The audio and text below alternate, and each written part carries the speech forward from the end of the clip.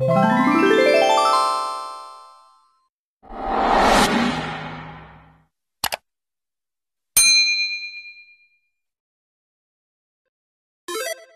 Halo semuanya, kembali lagi di channel YouTube aku Idapar. Jadi di video hari ini aku mau share ke kalian semua. Aku bakalan praktekin caranya edit video TikTok affiliate supaya bisa ada FYP, kemungkinan FYP gitu ya kan.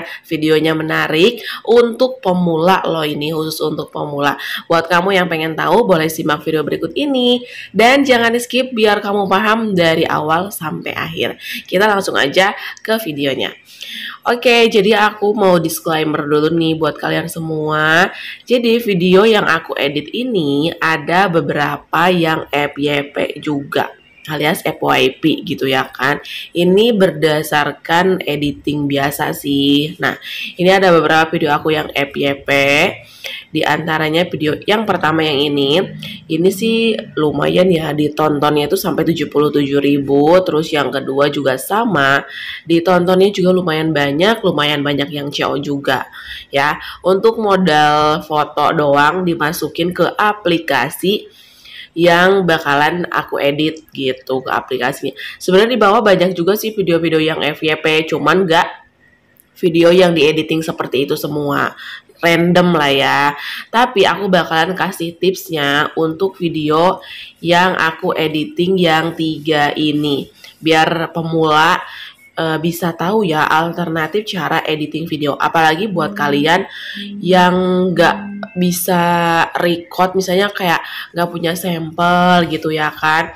Tapi kalian harus hati-hati ya karena sekarang katanya tuh lagi marak kalau video screenshot itu bisa kena pelanggaran ya karena ada beberapa video aku juga yang kena cuman nggak banyak sih aku juga belum tahu sih uh, validitas dari info uh, TikToknya itu udah valid belum sih gitu? Yang SS produk itu kena pelanggaran. Tapi hati-hati aja. Tapi memang ada satu video punya aku ada SS video dan itu kena pelanggaran ya. Tapi yang ini yang kayak aku editing seperti ini ini masih aman sih ya.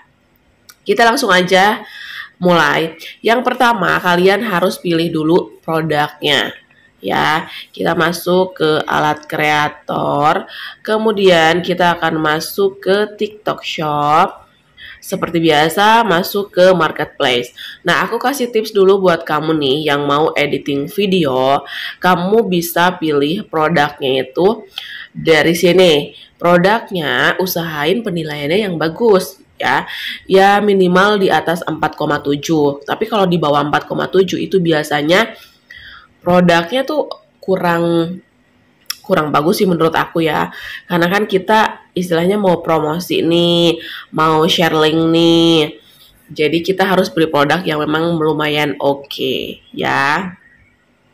Kita scroll scroll dulu ke bawah ya sampai nemu yang menurut kalian cocok. Nah, untuk produknya sendiri usahain yang satu niche. Jadi kayak yang misalnya aku skincare nih, karena kebetulan akun aku yang ini akun baru, aku usahain satu niche yaitu satu skin uh, satu produk uh, apa namanya? Pokoknya kategori skincare. Tapi kalau misalkan kamu udah punya personal branding yang bagus, misalnya kayak udah benar-benar dikenal, ya udah boleh random sebenarnya ya kan, karena kan berarti udah dipercaya sama uh, viewers kamu gitu. Tapi kalau untuk pemula aku usahain produknya tuh yang apa namanya?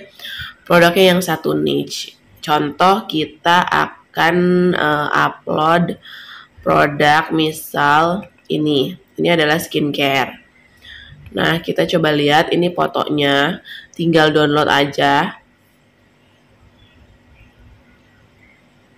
Kamu coba pilih foto yang apa ya yang bagus gitu loh. Oke, okay, kalau misalkan udah oke okay, produk yang bakalan kamu share, misalnya ini, kamu langsung aja klik. Nih, ini kan di sini ada tombol merah gini ya, kamu klik aja. Scroll ke bawah, klik edit produk. Nah, nanti munculnya fotonya kayak gini. Kemudian kamu tinggal klik aja si gambarnya.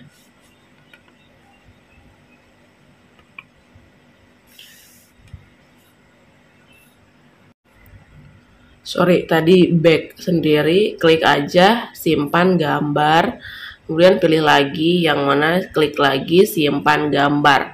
Pokoknya seperti itu ya. Misal gambar yang kamu pakai misalnya dua atau tiga boleh tiga juga nggak masalah. Nah kalau udah kita back ya. Kalau misalkan udah nemu produknya kita bakalan langsung edit videonya aplikasi untuk editing yang aku pakai adalah aplikasi ini. Ini namanya aplikasi CapCut. Kamu harus download sendiri karena kan e, aplikasi yang berbeda ya. Kalau udah, kemudian kamu tinggal buka aja si aplikasinya.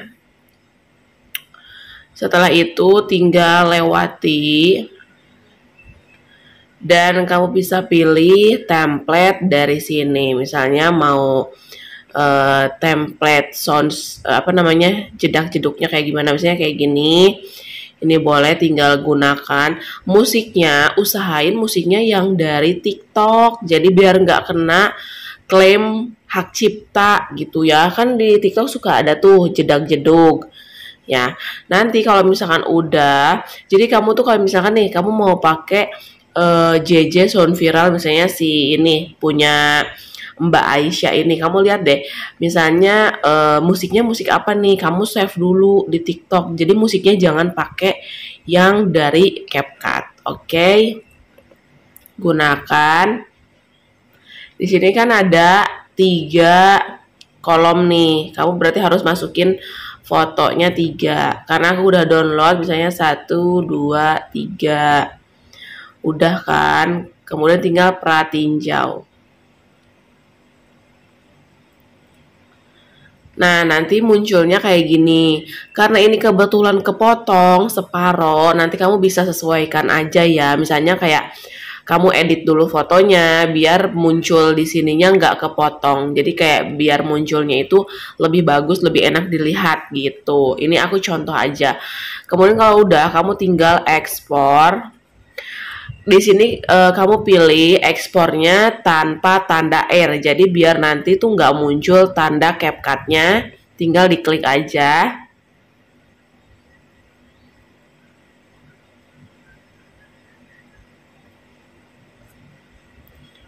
Nah, kalau misalkan udah, kamu tinggal langsung bagiin ke TikTok.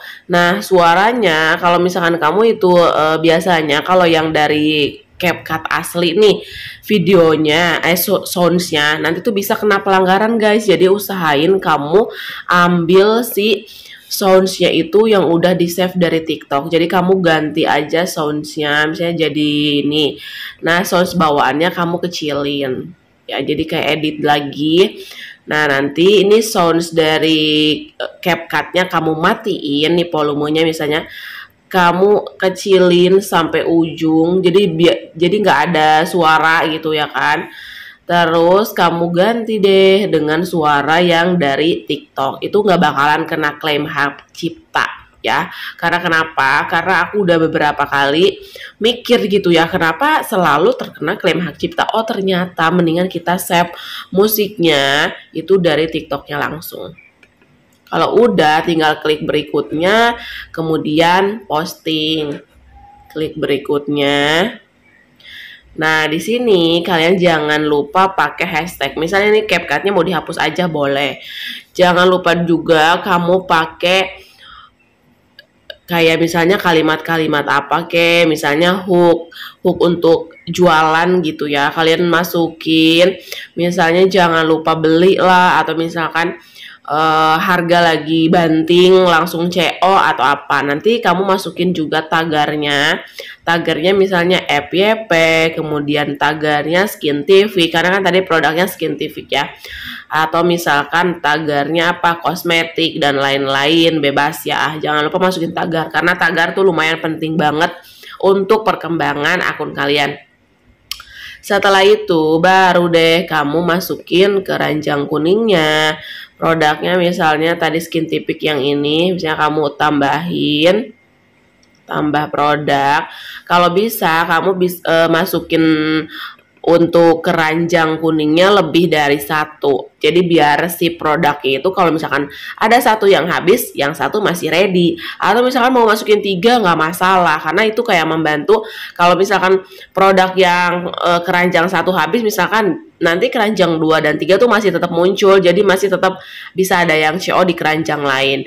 Daripada cuma satu doang, biasanya kalau produknya habis ya udah kosong gitu videonya tanpa keranjang kemudian langsung posting deh kayak gitu. Jangan lupa kamu pakai sound-sound yang lagi viral yang lagi jedak-jeduk misalnya.